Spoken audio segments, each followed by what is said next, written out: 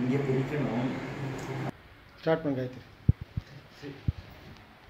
இந்த தசாவதார சோஸ்திரத்தை ஸ்ரீரங்கத்தில் எழுந்துள்ள போது எழுதினர் பாகவதாரோட பிரார்த்தனைப்படி பகவானோட பத்து அவதாரங்களை பற்றி பாடின சோஸ்திரம் தான் தே தசாவதார சோஸ்திரம் श्रीमान् वेङ्कटनाथार्य कवितार्किककेसरी वेदान्ताचार्यवर्यो मे सन्निधत्तां सदा हृदि देवो नः स्वभमातनोतु द सदा निर्वर्तयन् भूमिकाम्। अङ्गे दामनिलब्धनिर्भररसैः अध्यक्षतो भावुकैः। यद्वावेषु पृथग्विदेष्मनुगुणाम् भावान् स्वयं बिभ्रति। यद्धर्मैरिहधर्मणि विहरते। नानाकृतिर्नायिका பத்து அவதாரங்களை எடுத்து திவ்ய கஷேத்திரமான ஸ்ரீரங்கம் என்னும் மேடையில் நடித்த ஸ்ரீ ரங்கநாதன் நமக்கு மங்களம் பொழியட்டும் அவர் எடுத்த விபவ அவதாரத்திற்கு ஏற்ப அவருடன் தர்மத்தை நிலைநாட்ட வந்தவர் ஸ்ரீ ரங்கநாயகி தாயாரும் என்கிறார் முதல் ஸ்லோகத்தில் சுவாமி தேசிகர் निर्मग्नश्रुतिजालमार्गणदशा दत्तक्षणैर्वीक्षणैः अन्तस्तन्वदिवारविन्दगहनान् यौदन्वतीनामपाम् निष्प्रत्यूहतरङ्गरिङ्गणमित प्रत्यूढपातस्य डः ढोलारोहसदोहळम् बहुवतो मास्यं वपुः पातु नः சுவாமி தேசிகன் இந்த சோஸ்திரத்துல பகவான் மத்ஸ்ய அவதாரம் எடுத்த போது அதில் அவரோட கண்களை வர்ணிக்கிறார் அதாவது அந்த கண்கள் எங்கெல்லாம் பார்த்ததோ அது தாமரையோட காடு போல அவ்வளவு அழகா இருந்ததாம். அதோட இல்லாம இந்த மீன் வந்து கடல்ல மேல கீழே போனத சுவாமி பெருமாளோட டோலோத்சவமாக அனுபவிக்கிறார். இந்த மத்சியம் நம்மை காப்பாற்றட்டும் என்கிறார் சுவாமி தேசிகர். பவ்யாசர் புவனத்ரயே மணிபிருதம் கண்டோய நைரத்ரிணா நித்ராணஸ்ஸ பரஸ்ஸ கூர்ம निःश्वासवादोर्मयः यद्विक्षेपणसंस्कृतो दधिभयः प्रेङ्कोळपर्यङ्किका नित्यारोहणनिर्वृतो विहरते देवः स हैव श्रिया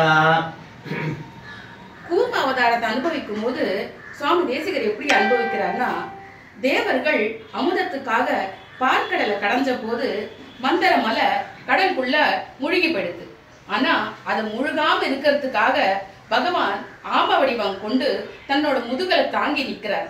அப்போது அந்த அழுத்தம் இருக்கு இல்லையா? அது அவரோட முதுக சொறிவது போல அவருக்கு அவ்வளோ ஆனந்தமா இருந்ததாம். அந்த ஆனந்தத்தை அனுபவிச்சு அப்படியே பெருமாள் தூக்கம் வந்துருத்தான் அவருக்கு. அப்போது கொரட்டை வந்தது. இந்த மூச்சு காற்று மூவுலகையும் காத்து அருள்கை என்கிறார் சுவாமி தேசிகர். गोपायेद निशं जगन्ति गुहना पोत्री पवित्रीकृत ब्रह्माण्ड प्रलयोर्निघोष उर्भिर्गोणारवैर्घुर्घुरैः यद्दंष्ट्राङ्कुरकोटिकाढघटना निष्कम्ब निस्तस्थितिः ब्रह्मस्तम्भमसौ दसौ भगवती मुस्तेव विस्सम्भरा நாலாவது ஸ்லோ நாலாவது ஸ்லோகத்துல வராக அவதாரத்தை பத்தி அனுபவிக்கிறார் பிரளய காலத்துல பூமி கடல்ல மூழ்கினப்போ இந்த பூமிய கடல்ல இருந்து எடுத்து வரு எடுத்து வரத்துக்காக பஞ்சி உருவம் கொள்கிறார் பகவான். இந்த வராகம் வந்து பெருமாளோட வராக பெருமாளோட திருமூக்கிலிருந்து அந்த குரு குர் அப்படின்ற சப்தம் எல்லா இடத்துக்கும் பரவிதான் இந்த ஒலியானது உலகங்களை எப்பொழுதும் காக்க வேண்டும் என்கிறார் சுவாமி தேசிகன். பிரத்யாதிஷ்ட புராதன பிரகரண கிராம க்ஷணம் பாணிஜைஹி. अव्यात्रीणि जगन्त्यकुण्ठमहिमा वैकुण्ठकण्ठीरवः यद्भ्रातिर्भवनाद्धवन्त्यजठरा यादृच्छिकाभेदसाम् या काचित् सहसा महासुरगृह स्थूणा पितामह्यभूत् நரசிம்ம அவதாரத்தை பத்தி சொல்லும்போது யாராலையும் எப்படியும் மரணம் அடைய முடியாது அப்படின்ற வரம் பெற்ற இரண்ய கசுபுவ தன்னோட நரம் கலந்த சிங்கமாகி அவரோட அந்த அசுரனோட வீட்டுல தூண்ல அவதரித்து தன்னோட திருக்கை நகங்களால அவனோட உயிரை எடுக்கிறார் பகவான் தூணிலிருந்து வந்ததுனால இந்த தூணுக்கு பெரும் பாக்கியம் கிடைத்தது இந்த இது பிரம்மதேவனின் பாட்டி ஆகிற்று இந்த நரசிம்ம பெருமான் மூவுலகையும் காத்து அருள்டே என்கிறார் சுவாமி தேசிகன் व्रीडाविद्यपदान्यदानवयसो नासीरधाठी भटः त्रयक्षम् मकुटम् पुनन्नवदनस्त्रैविक्रमो विक्रमः यत्प्रस्तावसमुच्छ्रितध्वजपटी वृद्धाङ्गसिद्धान्तिभिः श्रोतोभिर्सुरसिन्धुरष्टसुता सौदोषु देदूयते வாமன அவதார- அவதாரத்தை பத்தி சொல்லும்போது பலி சக்கரவர்த்தியை அடக்கிறதுக்கு எம்பெருமான் வாமன அவதாரம் எடுத்து பிரம்மச்சாரி வேஷத்துல போய் மூணு அடி மண் கேட்டார் அவர் கேட்ட உடனே பெருமாள் வளர்ந்து கொண்டே போனாராம். மகாபலியோட புகழ் பிரம்மச்சா மகாபலியோட புகழ் இந்த திருவடி சென்ற இடமெல்லாம் பரவியதாம். இந்த திருவடி விண்டுலகத்தை அளக்கும் போது சத்தியலோகத்துல பிரம்மதேவன் அந்த திருவடிக்கு திருமதினம் செய்தார். அந்த அதிலிருந்து வந்து தேவகங்கை பெருகியது.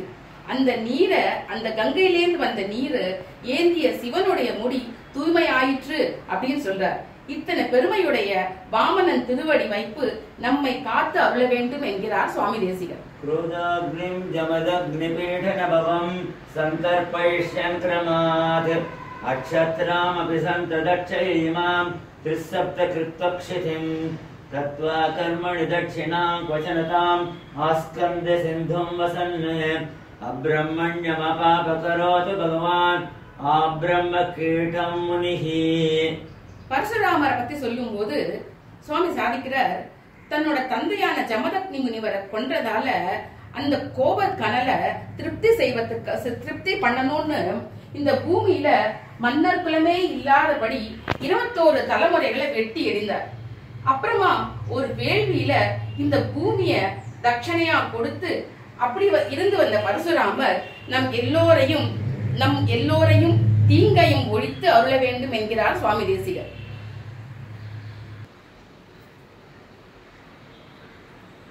வாராவார பயோ விசோஷண கலா பாரீண காலானல ஜுவாலாஜால விஹார ஹாரி ரசிக வியாபார கோரக்ரம சர்வாவஸ்த சகிருத் பிரபன்ன ஜனதா சம்ரக்ஷணைகவிரதி தர்மோ விக்கிரமான் அதர்ம விரதிம். தன்வேச தன்வேதனஹா. ராம அவதாரத்தை பத்தி சொல்லும்போது சுவாமி தேசிகன் ராமருடைய வில்லையோ அம்பையோட பெருமையை பற்றி சொல்றார். தன்னை சரணா சரணமே அப்படின்னு வந்தவாளை காப்பாற்றுவதையே விரதமாக கொண்டவர் ராமர். சமுத்திரராஜனுக்கு சரணாகதி கொடுத்தார். அதே மாதிரி விபீஷ்ணன் பரதன் நிறைய சரணாகதி கொடுத்தது ராம அவதாரத்துல. இந்த ராமர் அதர்மங்களை ஒழித்தலை செய்து அருள வேண்டும் என்று சாதிக்கிறார் कौरवपट्टणप्रभृतयः प्रास्तप्रलम्बादयः तालाङ्कस्य तथाविधा विहृदयस्तन्वन्तु भद्राणिनः क्षीरं सत्करये वयाभिरभृदत् भूदा प्रबोधे गुणैः आकोमारकमस्वदन्त जगते कृष्णस्य ताखेलयः பலராம அவதாரத்தை சொல்ற சுவாமி சக்கரை கலந்த பால் எவ்வளவு தித்திப்பா இருக்குமோ குழந்தையிலேந்து கண்ணனோடையே வளர்ந்தவர் பலராமன் அந்த பலராமர் கௌரவரோட நகரத்தை அழிச்சது மட்டுமல்லாம பிரலம்பன் என்ற அசுரனையும் அழிச்ச பலராமனுடைய லீலைகள் நமக்கு நன்மை செய்ய வேண்டும் என்கிறார் இந்த சோஸ்திரத்தில் नाथायैव नमः पदम्बवदनश्चित्रश्चरित्रक्रमैः भूयोभिर्भुवनान्यमूनिगुहना गोपाय गोपाय ते काळिन्दीरसियाय रसिकाय काल्यपणे स्पारस्फटावाटिका गङ्गोत्सङ्गविसङ्गचङ्क्रमधुरा पर्याय चर्याय ते கிருஷ்ண அவதாரத்தை பத்தி என்ன சொல்றாருன்னா பெருமாள் கிருஷ்ணன் அவதாரம் எடுத்த போது நிறைய லீலைகளை செஞ்சிருக்கார் தன்னோட எளிமையை காட்ட இடைக்கோலம் கொண்டவன் கிருஷ்ணன் யமுனையோட கரையில விளையாடினவன் கிருஷ்ணன். காளியன் அப்படின்ற துஷ்ட சர்பத்தோட தலையில நர்த்தனம் செய்து அடக்கினவன் கிருஷ்ணன். இப்படி பல லீலைகளை செய்த கிருஷ்ணனுக்கு நம் வணக்கம் உரித்தாகுக என்கிறார் சுவாமி தேசிகன். மாமின்யாகசயா பவன்யக பவத்வம்சாய ந கல்பதாம் கல்கே விஷ்ணு யசஸ்வத கலிகதாம். காலுஷ்ய கூலம் கிருஷஹாம்.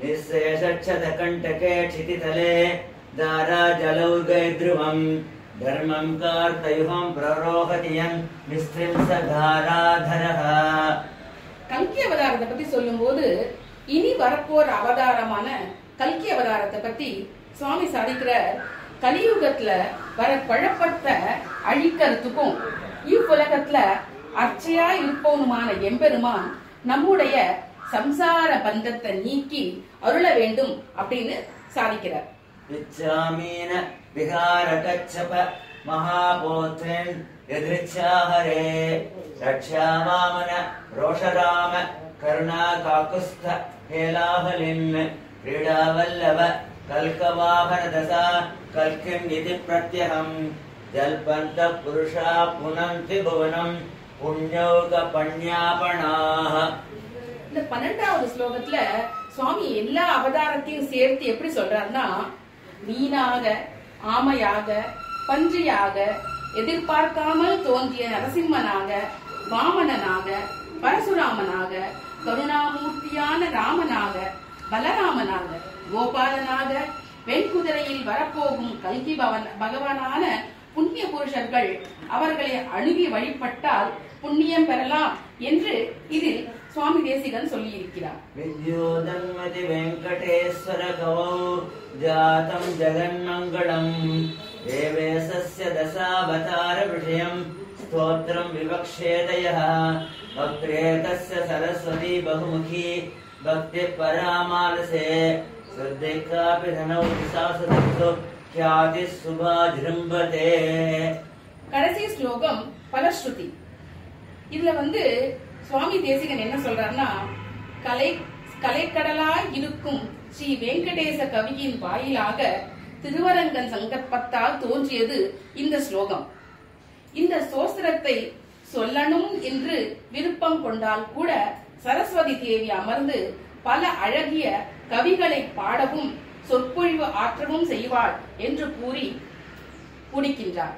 கவிதார்கிய कल्याणगुणशालिने श्रीमते वेङ्कटेशाय वेदान्तगुरवे नमः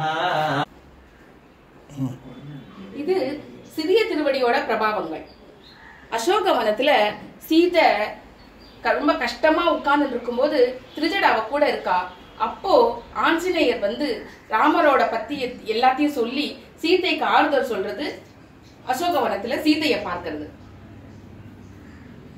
அடுத்தது ராவணனுக்கு தூதுவனா வருது ஆஞ்சநேயர். ராவணனோட தர்பாருக்கு வந்து உட்கார்ந்து வர அப்போ இடமிருந்தும் ராவணன் மமத தன்னோட கர்வத்தினால ராம ஆஞ்சநேயருக்கு உட்கார கூட இடம் கொடுக்க மாட்டார். அப்போ ஆஞ்சநேயர் தன்னுடைய வாலையே ஃபுல்லா சுழற்றி ஆசனமா தானே உட்கார்ந்துட்டு வர ராவணனுக்கு தூதுவனாக. அடுத்தது சஞ்சீவி மலையை கொண்டு வருது லக்ஷ்மணர் மயக்கமா விழுந்துட்டார். ராமரோட மடியில இருக்கார். அவருக்கு ஒண்ணுமே தெரியல. அவரை சுற்றி எல்லாரும் சுக்ரீவன் நலன் நீலன் ஜாம்பவான் எல்லாரும் உட்கார்ந்துட்டு இருக்கா என்ன பண்றதுன்னு தெரியல. அப்போ ஆஞ்சநேயர் லக்ஷ்மணனை காப்பாத்துறதுக்காக சஞ்சீவி மலையை தூக்கிண்டு வந்து அந்த இடத்துல கொண்டு வர இது ஆஞ்சநேயர் வந்து லக்ஷ்மணரை காப்பாற்ற செய்தது இந்த செயல். அடுத்தது கும்பகர்ண வதம். கும்பகர்ணனை வதம் பண்ணதுக்காக ராமர் ஆஞ்சநேயர் மேல ஏறி கும்பகர்ணனை வதம் பண்றார்.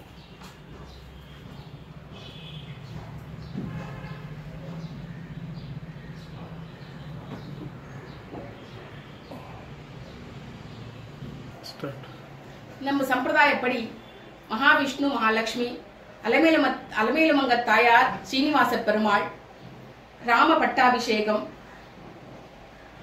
பஞ்சமுக ஆஞ்சநேயர் சிறிய திருவடி பெரிய திருவடிகளோட பெருமாளுக்கு முன்னாடி இருக்கிறது. இது ராமசுவாமி திருக்கோவில். பட்டாபிஷேக கோலத்துல ராமர் லக்ஷ்மணர் சீதை அனுமார் பரத சத்ருகனரோட இருக்கிறது இந்த திருக்கோலம். இது கும்பகோணத்துல இருக்க ராமசுவாமி கோவில். அடுத்து லக்ஷ்மி நரசிம்மர்.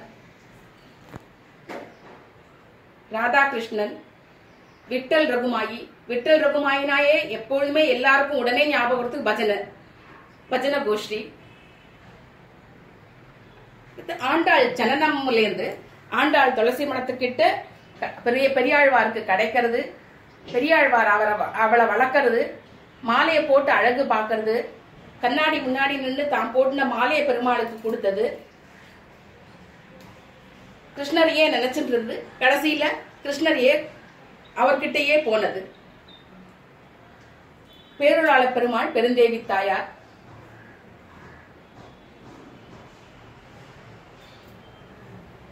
நம்முடைய ஆச்சாரியர்கள் பகவத் ராமானுஜர் சுவாமி தேசிகன் மணவாள மாமுனிகள் சக்கரத்தாழ்வார்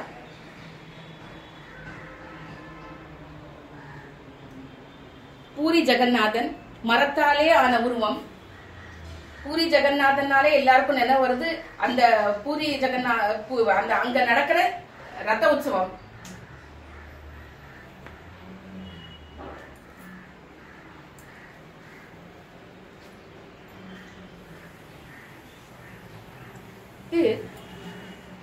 மன்னார்குடி ராஜகோபால சுவாமி. அவரோட அழகை நம்ம பார்த்து பார்த்து யாராலையுமே முடியாது. அவ்வளவு அழகான ஒரு பெருமாள் அது. பார்த்துட்டே இருக்கலாமான்னு இருக்கும். அவரை சேவிக்கிறதுக்கு ஆண்டாள் தன்னோட தோழிகளோட வந்து கிருஷ்ணரை சுத்தி நிக்கிறது.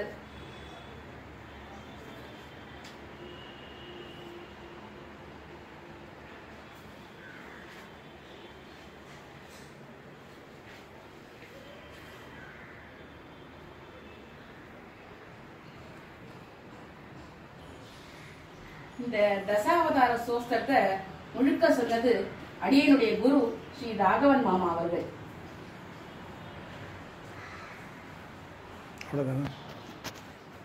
சக்கரை போடலாம் அவருக்கு தெரியாது. மாமா சக்கரை போடலாம் இல்லையா மாமா?